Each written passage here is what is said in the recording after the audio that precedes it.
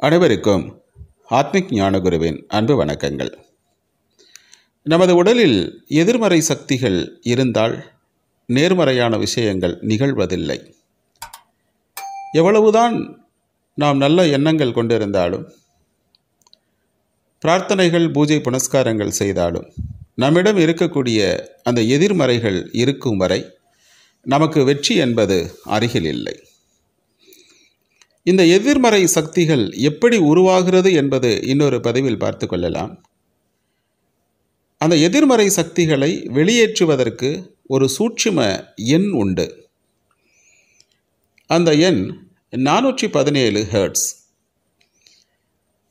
வானொலியெல்லாம் நாம் கேட்கிற பொழுது ஒரு அலைவரிசையில் வைத்தவுடன் அந்த வானொலியின் ஒளிபரப்பப்படுகிற விஷயங்கள் நமக்கு வந்து சேரும்.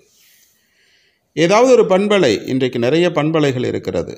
எந்த பண்பலை நமக்கு வேண்டுமோ அந்த பண்பலையின் அலைவரிசையில் நாம் வானொலி பெட்டியை வைக்க வேண்டும். இந்த பிரபஞ்சம் முழுக்க அலைவரிசைகள் நிரப்பப்பட்டிருக்கிறது.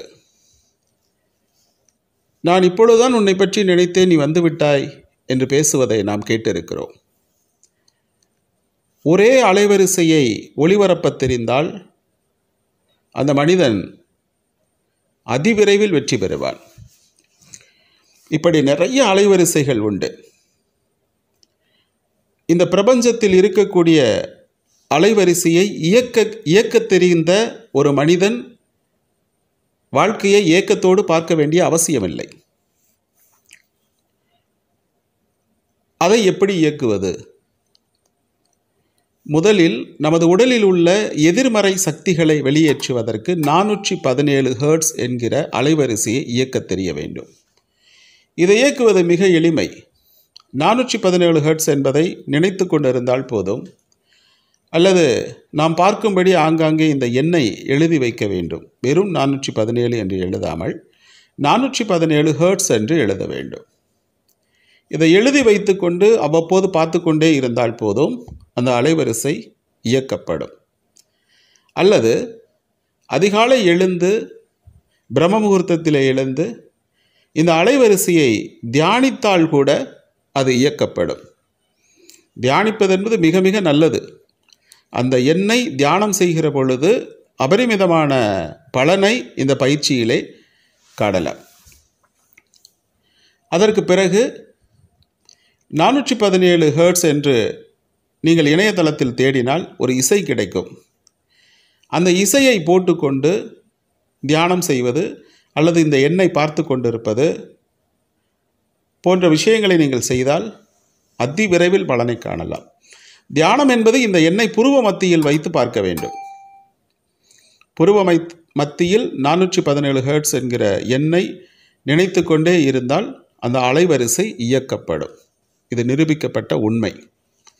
இந்த இசை இணையதளத்தில் இருக்கிறது அதை நீங்கள் கேட்டுக்கொள்ளலாம். இப்போ எதிர்மறை சக்திகளை வெளியேற்றுவதனால் என்ன பலன்? அடுத்து ஒரு கேள்வி உங்களுக்கு வரும். முதலில் நமக்குள் இருக்கக்கூடிய எதிர்மறை சக்திகளை வெளியேற்றிவிட்டால் நேர்மறை சக்திகள் தானாகவே வந்து குடிகொண்டு விடும் அதில் உள்ள சூட்சுமம் இதுதான். முதலில் இதை செய்வோம். இதற்கு பிறகு நேர்மறை சக்திகள் உடலுக்குள் வந்து குடிகொண்டு விடும் இந்த அற்புதமான பயிற்சியை தியானிக்கலாம் அல்லது எழுதி வைத்துக்கொண்டு பார்க்கலாம். இசையை இணையதளத்தில் நீங்களே தேடிக்கொண்டு கேட்கலாம். இது நிகழாமல் போகுமா என்று ஒரு கேள்வி வரும். இதற்கு ஒரு அறிஞர் சொல்லியிருக்கிறார் நானூற்றி பதினேழு ஹேர்ட்ஸ் என்பதை நீங்கள் நினைத்தாலே அது இயக்கும் இயங்கப்படும். அல்லது தியானம் செய்தால் இயக்கப்படும். இப்படி நீங்கள் இதெல்லாம் செய்து இயக்கப்படவில்லை என்றால் உங்களுடைய குணத்தில் ஒரு பிரச்சனை இருக்கிறது என்று ஒரு மேலை நாட்டு அறிஞர் சொல்லியிருக்கிறார். என்ன பிரச்சனை என்றால் அடுத்தவர்களை குறை சொல்லக்கூடிய தன்மையிலிருந்து நாம் வெளியேற வேண்டும். அடுத்தவர்களை குறை சொல்லிக்கொண்டே அடுத்தவர்களை பற்றி புறம் பேசிக்கொண்டு அடுத்தவர்களை இழிவாக நினைத்து கொண்டிருப்பவர்களுக்கு இந்த எண் வேலை செய்யவில்லை என்று ஒரு மேலை நாட்டு அறிஞர் சொல்லியிருக்கிறார்.